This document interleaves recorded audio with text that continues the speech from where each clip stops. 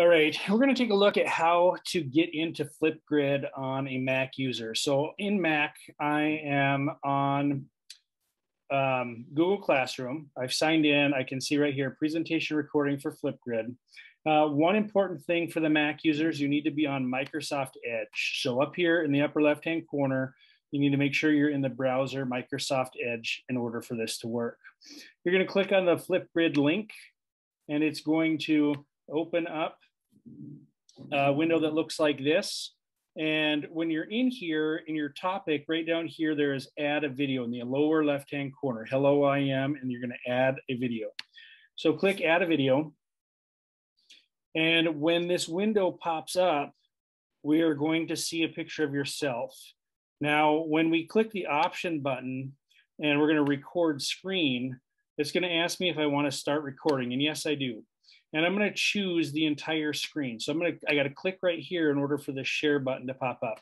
And when I click share, you'll notice that a couple things might happen is one, uh, it might start recording, which it has, and we don't see our image down here in the bottom. So I'm going to need to try to do this again. So I'm going to hit stop recording and I'm going to close this. Things might happen is one, uh, and I deleted. I confirmed I wanted to delete it. So now I'm going to do it again. Now you can see the button looks a little different here that's fine. Click add response.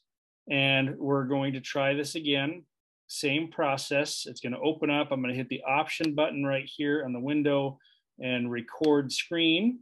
And I'm going to hit start screen. I'm going to choose right here in the middle again. And then my button turns blue and I'm going to share. And hopefully it pops up this time, which it does not look like it has. So I'm going to stop recording again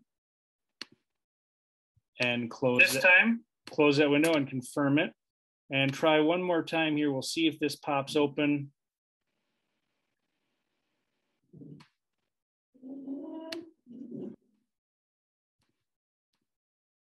And you can see on the third try here, my uh, picture did open up. And so once my picture opens up, then I can come up here to my presentation and I can use my presentation and thumb through. So if I'm gonna have my video on, I'm going to be recording as I go through my presentation. I do not want to hit present right here. If you go into full screen, it's going to remove your picture from down here at the bottom. And we, we want to see your picture, your face as you're presenting to us and going through this and moving around. So you're going to be in creator mode here where you can see all these tabs.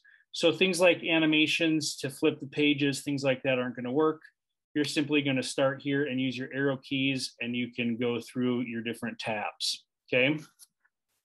So that's how you're going to have to do that. Try it two or three times uh, to see if your picture popped up. Three seems to be the magical way to do it there in order to get that video to pop up. You're then going to record your video, and when you're done, you can see right here, Flipgrid is um, using your screen. You can stop sharing uh, to do that. Now, if you're in full screen mode, then you would want to hide this while presenting so that you don't um, see this on your screen, but that's fine if it's there. A uh, picture did open up. And so once my picture opens up. All right, so you have the ability to crop a little bit. You can cut some off the front. You can take some off the back. You can add some a, in certain, uh, picture did open up in certain places. And when you're done, you can see some of that there has been cut off the front. I can move the timer. I say I don't want the first five seconds. It was me opening. And so again, you do want to have um, no background noise as you're recording. So don't have the radio playing, don't have a fan blowing in your face, and make sure you're somewhere quiet. Um, and when you're all done recording and it sounds good and looks good, no background noise, uh, then you can confirm and this will upload it. Now, don't do this until you, you know, maybe two or three takes in, maybe it takes a couple chances.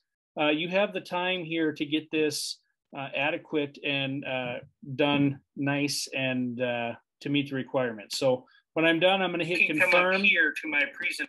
It'll let you see the final cut after you cut things off and trimmed it.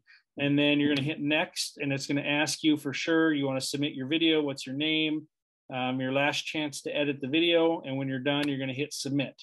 And it's gonna tell you you're uploading. Do not leave this page until your video has uploaded all the way. Otherwise it will not upload.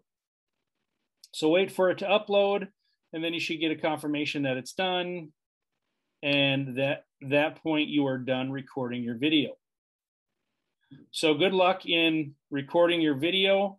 Um, hopefully this makes sense. If you need help, please do not hesitate to contact me.